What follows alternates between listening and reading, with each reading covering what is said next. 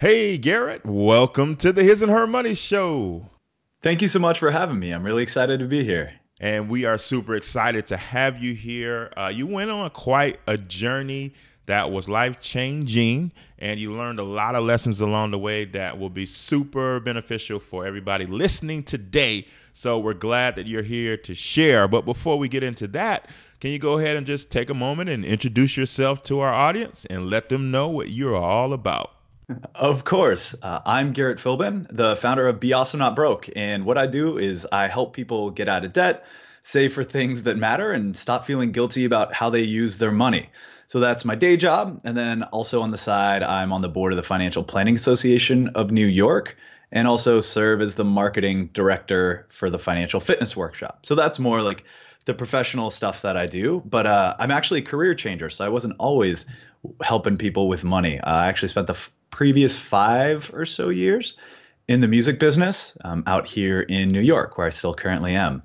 Uh, was at Sony for a couple years, then helped co-found a couple music production companies with some buddies from college, but just like ultimately found out that the music industry and the ad industry, which I was also in, like I just didn't love it, and uh, you know I spent it, it just wasn't that fulfilling, to be honest. I'd spent a couple years out of college volunteering full time at a high school in Portland, Oregon, for low-income students from troubled backgrounds, and I just loved it, like the mentoring aspect of it, the teaching aspect of it was so much fun. And I and I missed that in in what I and I had none of that in the music business. So I've always been a personal finance and money nerd. And so ultimately I decided to try and combine that love for mentoring and my love for personal finance. And that kind of led me to where I am today in this mission of like helping people no longer see money as a barrier to like living an awesome life and doing great things in the world. So that's kind of where I'm at now and and how I got there. And it, it's super fun. It's challenging because it's exciting. The world of entrepreneurship is like the highest highs, lowest lows, sometimes within the same day. I can't remember who quoted that. I'm definitely stealing it, but I love it and it's so true. But just to be feel in alignment with my purpose and what I'm doing is great and therefore trying to figure out how to unlock that especially around money with other people as well. Wow, that's incredible. So, I mean, let, let's let's backtrack just a little bit because so many people are trying to break into the music business and you were trying to break out of the music business which is amazing i mean you attained something that most people like dream of you're working for one of the major companies and sony and probably living the rock star life so to speak but you weren't like you said you weren't happy and so then you launched um, some entrepreneurship endeavors outside. You moved along from Sony, and then even after you launched into entrepreneurship, there was still more, and so you took a work road trip. Tell us how you got to that point, and tell us about the trip overall. For sure. Uh, one point that I do want to make, because this is something that I I hear and see a lot in other people, and and I saw in myself was you get in i was in something that on the outside sounds super sexy right? I'm in the music industry i'm working in new york i'm working for sony on the columbia and epic labels like we got beyonce we got Bey. like come on this is this is living the life. But what it sounds like on the outside and actually what it is under the hood are often two very different things. And people get enamored with this sense of what something is and kind of that sexy shiny exterior. And if I just really found that underneath all of that, it didn't totally resonate with who I was. And there are some people who love it and who live for it. But ultimately, that wasn't my goal and what made me happy. And so I'll probably, you know, come back to this throughout the podcast, but just that idea of it, it has to be in alignment. You have to know what you really want and not live somebody else's dream, but live the one that you genuinely feel you want to be living. So just to address that point because it is something that comes up a lot when people hear that history but you know i feel that like working for myself and, and the, the life that i have now is just so much more fulfilling. Um, maybe less sexy at times but just as uh, uh, certainly a lot more fulfilling. And it allows me to do stuff like this road trip that uh, you brought up. Uh, so back in late july i went on a work slash road trip uh, for two months around the western part of the United States. It stemmed from me. The motivation for it really was honestly, I was like feeling kind of lost here in New York a little bit. Um, entrepreneurship can be a little tough at times, and I felt like I had over my time in New York not necessarily built the friendships that I'd really wanted. I hadn't really I love being in nature. I'm from California. I love hiking, being outdoors. I hadn't like connected with that part of me. Uh, I'd kind of lost my work-life balance. Again, entrepreneurship taking a lot of time, and, and I'd lost balance there. And it just was. I came up with this idea of like I need to get back to center. I need to like go back to the friends on the West Coast who know me and go and see them. I need to travel, get out in nature. Uh, I have a location independent business, so can I actually like put that to the test and work from my laptop while traveling around and doing 10 states in two months? And and really that's where it stemmed from a, a uh, want to push my own boundaries, see what's possible, but honestly, a little form of like escapism because I wasn't super happy in New York at that time, and so wanted to get out and try and reconnect with what I thought was going to make me happy. Now you talk about the fact that you know you were doing a lot of self-reflection and trying to figure things out, and you found that you were not where you needed to be, and so you launched out um, on this work road trip, which which was phenomenal. And kind of reflecting on the reflection, you said that there's quite a happiness crisis going on in the world right now. Can you kind of dive deeper on that and let us know what you mean by that? Yeah, for sure. So there are a couple stats I'm going to throw out you that are throw out to you that are really interesting. That like only 30%, I think it's 33% of Americans are truly happy here in 2016. It's according to a Harris poll. They're one of the big ones. Uh, over half, so 52% of Americans are unhappy with their jobs, and 62%, I think, of Americans say they frequently worry about their finances. So over half the population is unhappy with either their jobs or their money.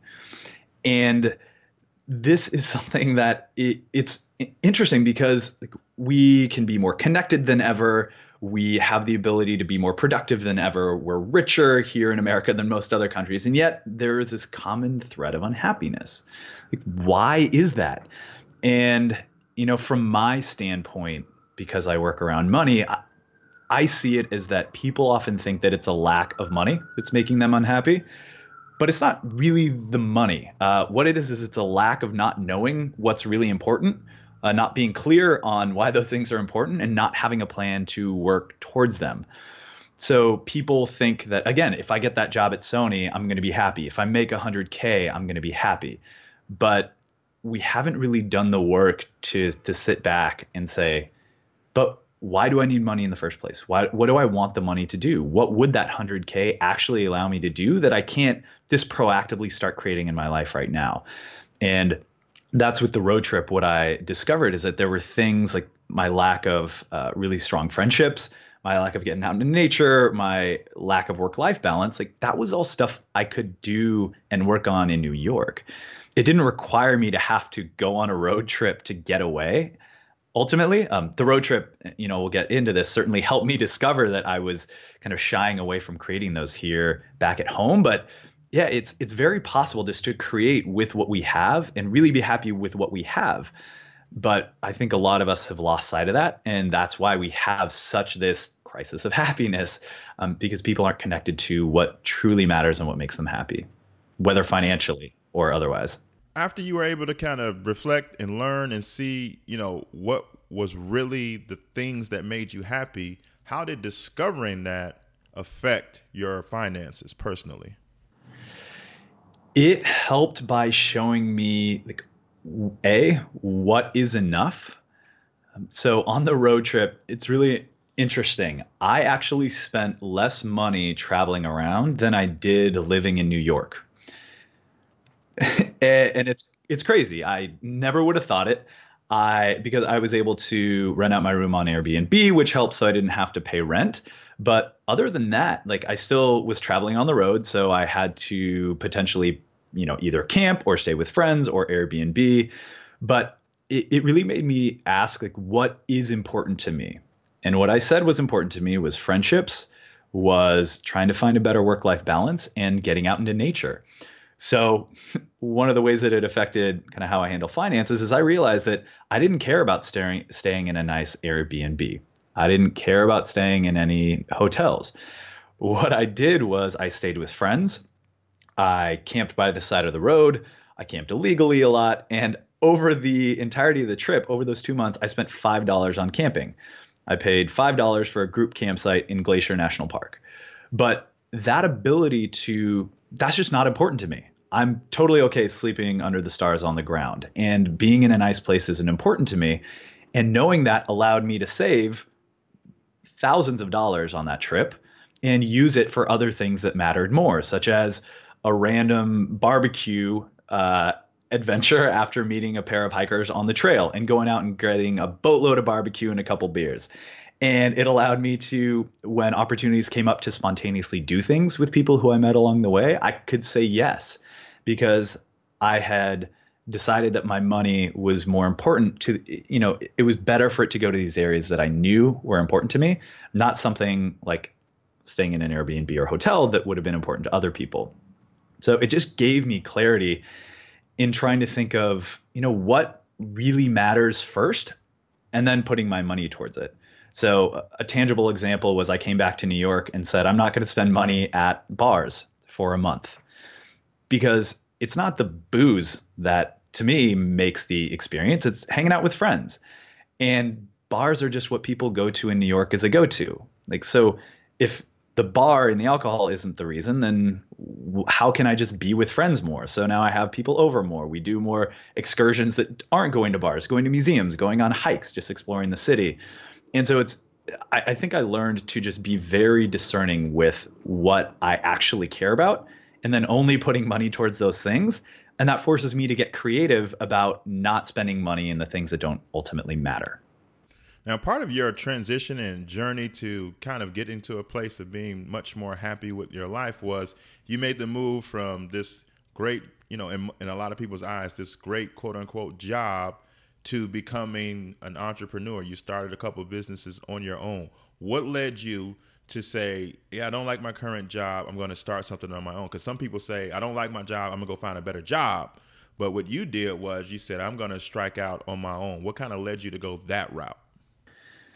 Uh, what, so I can't take total credit for this. And actually, this is something that I would say is one of the most important things in me making this transition from corporate employee to entrepreneur is – I had people who were cheering me on to succeed.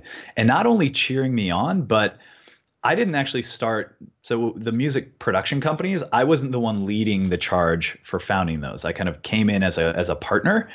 And I was at Sony for eight or so months while one of the other co-founders of this music production company he said dude when are you going to leave when are you going to quit sony when are you going to come out here dude we need you and it took me eight months to hear him, to really hear him and believe that I could make the jump.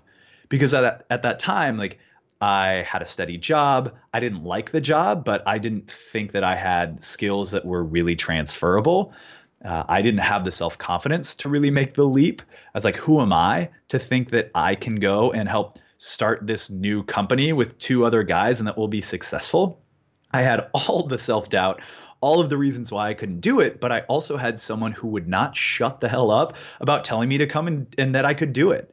And I have to, I, I believe 100% that I would not be where I am today without him pushing for me every step of the way during those eight months.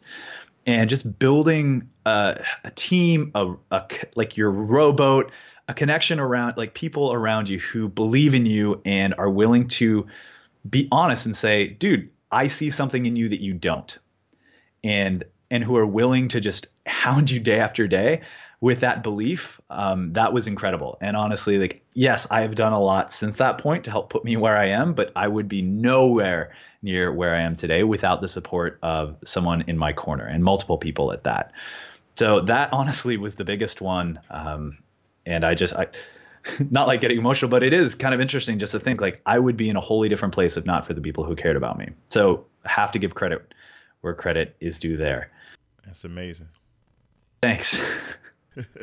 So let's pull back the curtain a little bit on that transition period from employee to entrepreneur, because I think a lot of people sell, you know, fairy tales when it comes to that move. Like, yeah, just jump, just take the leap. You can do it. Have faith. Walk on water.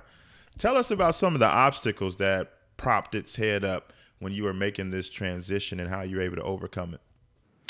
So I need to be incredibly transparent in this, in admitting that I had a leg up on many people coming to this. So, as part of my volunteer experience for two years, I didn't make any money. I don't know if you've heard, but volunteering doesn't pay. Uh, however, I had we had some family friends who were incredibly gracious, uh, giving, and said, "Hey, you know what? You're not making any money right now. What we're going to do is we're going to give you some money to make up for the fact that you weren't going to make any." And so I that was back in 2011. I then at the end of that had 26 grand in my checking account to allow me to move to New York. So this is also going to be a lesson in it's not just what position you start from, but it's what you do with it. Because I didn't, okay, I was incredibly fortunate and blessed and like so much privilege to be able to be in that position. But I also did not spend that money. So about four years into New York, I still had about 23 grand of that. And what that allowed me to do is that runway, which you're right, you can't just quit your job and walk on water and get there. Like you have to have some sort of cushion. You have to have whether it's a side hustle, whether it's money in the bank, you have to have something to help ease those transitions. And honestly, that cushion is what allowed me to take the leap from Sony to starting those other companies. It allowed me to help float those other companies at times. And that ultimately allowed me to quit uh, the music production companies and start Be Awesome Not Broke. And for those who want to take the leap but might be thinking about taking it early, I think the one thing that I would say is um, make sure you have enough money. Because if you don't have enough money, if you're really in whatever job you want to get into to serve, if you truly want to get out there and help people, the single biggest way you can get into not helping people is to be worried about your own money when you're starting your own business. Because then it's no longer about the people that you're helping it's about i need money. I need this for me. I need cash flow. And you aren't going to be thinking about what is in the best interest and how can i best serve my clients. It's going to be about that money that you need right then. And so just think about the ultimate people who you're going to be affecting as well and that you, if you're going to be your best self you can't do it from this position of lack, from not having enough. So giving yourself that runway is at least in my experience, that was the biggest thing that has allowed me to be able to do what I do in the way I want to do it. Love reading, but wish you had more time to get into your favorite books? What if you could use the time you already have and listen to the books you already love? Well, now you can with Audible. With Audible books, you can be inspired, entertained, and educated anywhere, anytime. Choose from the bestsellers in self development, business, nonfiction, and more. So, what are you waiting for? Your first 30 days are free. Visit hisandhermoney.com forward slash audible to get started today. That's hisandhermoney.com forward slash audible. Yeah, I think that's super important because when you jump you know, so to speak, into the world of entrepreneurship and you don't have the proper cushion, now you're making decisions totally based on trying to bring in income, trying to meet your needs financially and materialistically. Whereas if you have that cushion and you can float a little bit, now you can make the type of decisions that you want to make that align with your value system and the value system of the business that you're trying to operate. So I think what you're saying is super duper important, and I, and I hope that everybody took note of that because that is a huge point to take away from this episode today. Now, take us to the actual road trip. This two month journey you went on, you saw lots of places, saw lots of people, talked to many of them. What were some of the lessons about life that you took from the conclusion of this two month journey that you went on?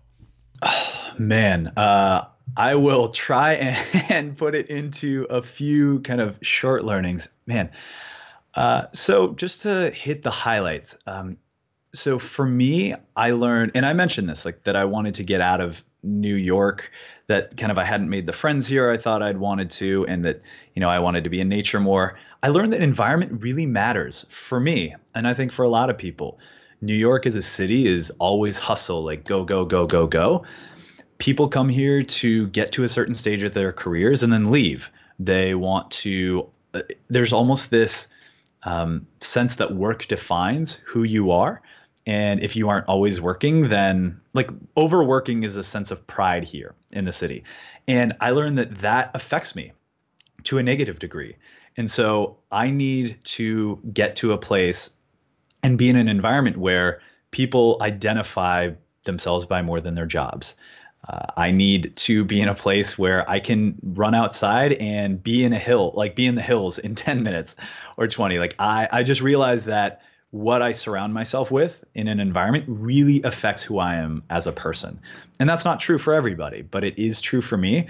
And so like waking up at the foothills of the Grand Tetons and pulling out my laptop and working from the back and then shutting it down and going on a hike in the afternoon, it's just like this this is it. like this is what I want to be around. And so definitely environment um, for some people, especially for me, is is a really big deal. Uh, w- another one is progress over perfection. Uh, I think definitely in our finances, a lot of people, and I've been in this boat myself, like we we don't take action because we're worried that we aren't going to do it perfectly. And the biggest thing I learned is like just shoot for 70, shoot for 70 or 75 percent, and then you'll figure it out, and then just tweak, you know, iterate. Just try something and iterate. So was the road trip a success? In the grand scheme that yes i learned a boatload about myself about who i want to be how i want to operate. Was it fun all of the time? Absolutely not.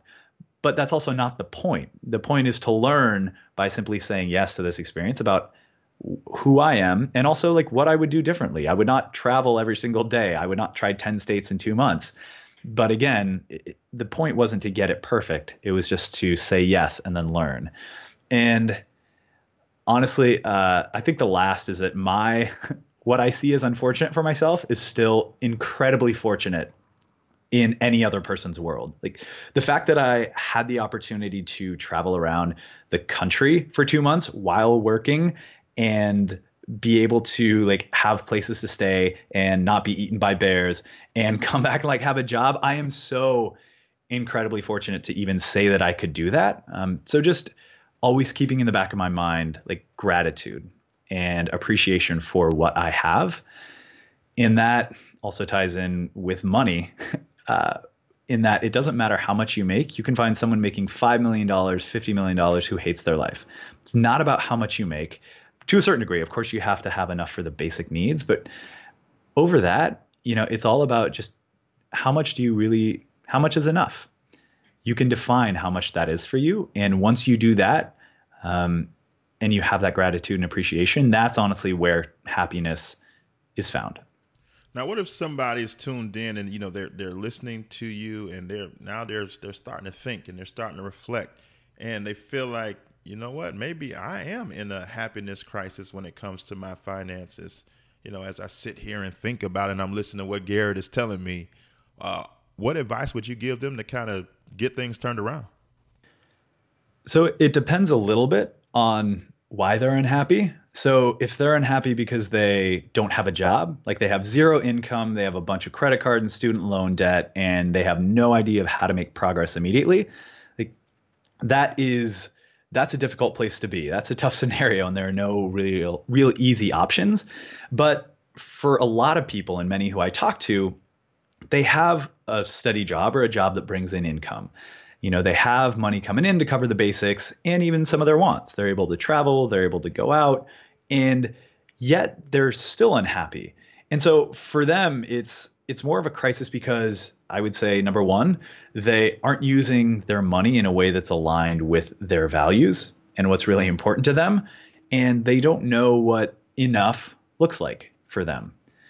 So it really comes down to figuring out why you want money in the first place. And, and I touched on this at the very top of the episode. Like, why do you need the money? Why do you want the money? What is it actually going to help you get to? what things are important to you in life. Is it is it family? Is it travel? Is it starting your own business? Is it making an impact in the world? What are those things that really matter to you? And then saying, okay, how am I going to put my money towards those things? And then the cool thing about that is when you define what's important to you and then actively put your money towards those things, it's not like you're giving up on, you know, when people say cut out that $5 latte, you know, it's not like you're giving up that $5 latte. You're making an active and empowered proactive choice to say, I just think that putting money away towards a trip to go see my family for a second time this year is more important than that. It's not that I have to give it up, it's that I'm making a proactive choice to put my money elsewhere. And that flip, that different mindset is really important because if you feel you're giving up and that you always have to say no to things, that's a crappy place to be.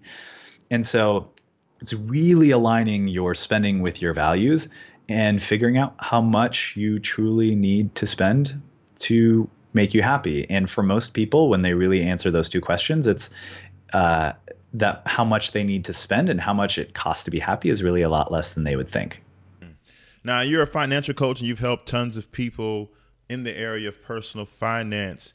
Is, you know, kind of the advice you just gave, or is it something else? What What's the biggest thing that holds most people back from achieving financial goals? Because a lot of people have these ideas in mind where they want to be financially. They, they can kind of picture it, but there's there's something that keeps them from what they want and their current reality. Like, what do you see as holding most people back? if I couldn't say not having a sense of what their goals are, so if I couldn't cheat and have that be my answer, I would say that it is uh, a lack of awareness and a lack of a plan.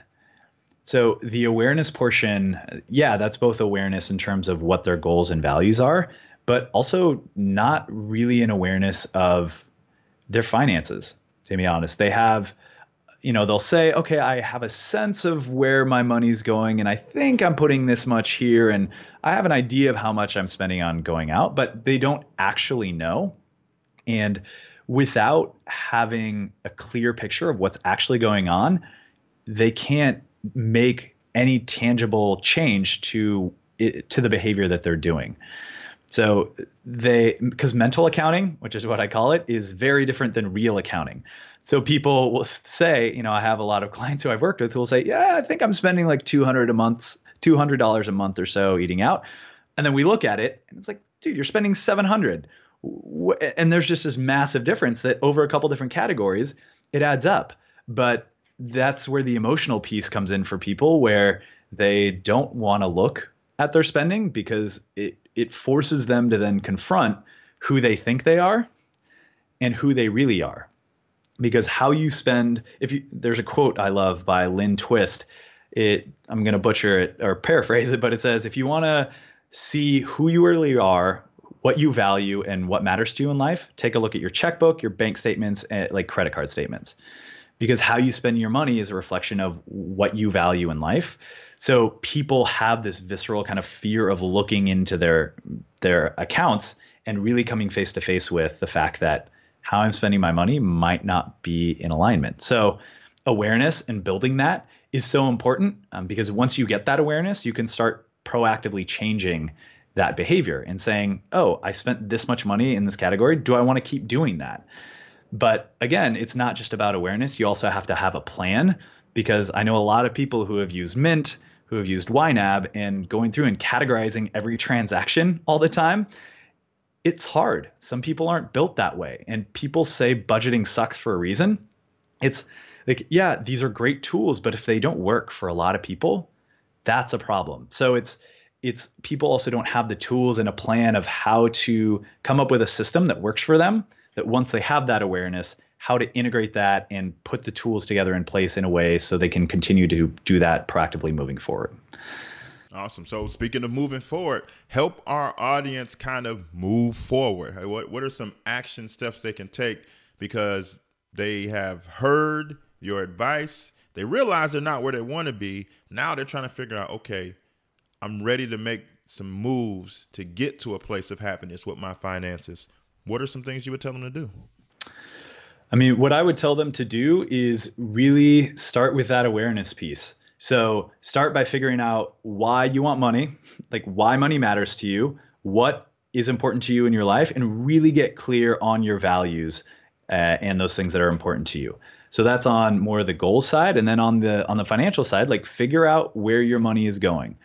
Get a sense of how much money is coming in, how much money is going out, and where it's going, and then that will give you that clarity, uh, and you will understand. Okay, not only where I want to be in terms of uh, your values and what is important to you in life, then you'll know where you stand, such as, okay, here's where I'm at financially. And then you can start figuring out how to bridge the gap. Um, I actually have on my uh, site a guide called the Be Awesome, How to Be Awesome and Not Broke Guide. And it just kind of walks you through these steps that I've been talking about, gives you some prompts, and it's free. And you just go through and it'll ask you those questions like, what is your why? What is important to you? here start setting up a budget and and doing it in a way where it kind of leads you along that path and gives people kind of set steps to do so that would be a resource i would say people can just go to and download for free and hopefully that can help start those creative juices flowing and get them asking those questions and gaining that awareness and we'll be sure to have a link to garrett's guide to how to be awesome and not broke in the show notes of this episode just head over to hisandhermoney.com check out Garrett's interview and you will find the link to his guide there. Now, in addition to them downloading the guide and going through the steps, we are avid promoters of self education. So, are there some book recommendations that you would offer up that our audience should check out on their journey to finding this happiness and getting their finances to a place where they want it? Definitely. Uh, the first I would recommend is The Soul of Money by Lynn Twist. So this is a book that talks about money from a more macro perspective, from like the approach, as you can tell by the title, like the soul of money. It's not about the X's and O's. It's more about how to approach viewing money and she was a fundraiser for many many years and she traveled around the world and was able to see how money works in different cultures. So she has this really interesting understanding of how money works in different societies and has seen what works and what doesn't from a mindset approach to money. So that's really great on the mindset approach. A great tactical both tactical and mindset approach book is your money or your life by I think it's Vicky Robin, Joe Dominguez, and Monique Tilford. And that is both uh, what I love about it is one of the things they have in there is it makes you go through or has you go through and calculate how you spend your time. So all of the time that you spend uh, regarding work. So that's at work, commuting to work, spending on lunches at work, all these different things, and then calculating. You may make $25 an hour at work, but once you calculate all the hours that you spend at work, getting to work, paying for lunches, paying for clothes, all this stuff, and you calculate what your actual hourly wage is, it makes you look at and say, holy crap, like I am living, I'm making $9 an hour. And you start looking then if if it costs me an hour to make only $9 and I'm buying all of this frivolous stuff, that just cost me like 15 hours at work to buy this shirt. And, it makes you start thinking about how you spend your money in a really different way because you're seeing the true cost of everything that you're bringing into your life. And uh, the last one would be the one page financial plan by Carl Richards, which is a great book in both kind of going on the why money is important, but it really helps. Um, it's not too much about the tactics. It really just says, look, get everything onto one page. You know, when you have goals, a lot of people try to tackle too much and make it really complicated. And so he's a big proponent of just saying, all right, what are the two or three goals that you have? Put them on one page, look at those, just keep them top of mind, and having simple, well laid out goals um, that aren't super complicated is a really great way to allow progress to happen and not get overwhelmed. So I really like his approach to keeping things simple. Awesome. Now, can you do us a favor and tell our audience all about your amazing website, beawesomenotbroke.com, and how they can stay connected with you? Of course. The website is Be Awesome Not Broke. Uh, also, the I like to think one of the most fun company names and the least professional company names, but hey, I, I chose this life. Uh, yeah, and you can head there to beawesomenotbroke.com to learn more about what I do as a coach You can read about my journey with entrepreneurship and money on my blog. And again, the guide is available on the site. I know it'll be in the show links, but you can find it directly on the landing page there. Uh, I also recently wrote an article called uh, Seven Ways to Make Your Money Matter, which, if you're feeling a little bit lost after November 8th, which some of us are, uh, figuring out how to make a difference with social causes and other causes that you care about, um, uh, no matter what side of the aisle that you're on, uh, I'd recommend checking that out because it's a way to pretty much a guide on how to use your money in a way that gives you power to make a difference. So that's on the most recent one on the blog, and I've been getting some great feedback on that. Uh, yeah, so that's how people can check me out. And uh, also, just as we're coming up on the new year, you know, now is the time when a lot of people are looking backwards and saying, okay, I was able to do this and this, but a lot of times money is again something where they're like, oh, here was a goal that I once again didn't make. and so coming into the new year, a lot of people are always thinking, okay, now is the time that I'm going to do it. Now is the time that I'm going to do it. And I think a big place where people fail is not having that plan and not having accountability. So if uh, I'm also putting on a group program starting in January, so if people are interested, I have four slots available for that they want to start and have that awareness, build the awareness, a plan, and accountability, uh, that's something that they can also connect uh, with me on. And the best way to do that, honestly, to get in touch is via email. So it's just Garrett at beawesomenotbroke.com. Uh, don't hit me up on Twitter. I'm terrible with Twitter. Uh, not on Instagram. I'm old school, man. I just love email. It's the best way to get a hold of me. Um, yeah, so that would be the best way I would say. Or sending me like I have the about form or the uh, what is it? The get in touch with me form on my website. You can do that too. Awesome. Garrett, this has been super helpful. We really love your story and the lessons that you shared on the show today. Thank you so much for taking time out of your busy schedule to make this happen. Dude, I just appreciate you guys having me on the show. Thanks again.